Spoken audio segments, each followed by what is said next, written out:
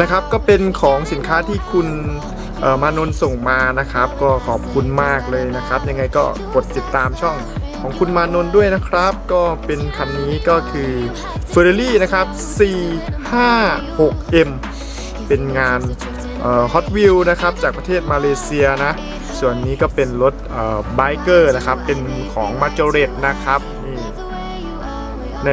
น่าจะเป็นซีรีส์เมทัลนะ นะครับ ตัวนี้ผมไม่แน่ใจว่าเป็นอะไรน่าจะเป็นอืม BM แต่ผมไม่ทราบรุ่นนะ ยังไงก็ผู้รู้ก็มาคอมเมนต์เลยนะครับถ่ายยาวๆไม่มีหาข้อมูล ยังไงก็ขอขอบคุณนะครับที่ติดตามรับชมนะครับสำหรับวันนี้ก็รีวิวสั้นๆนะครับ 2 ชิ้นจากคุณมานนท์สำหรับนี้ลาไปก่อนสวัสดีครับ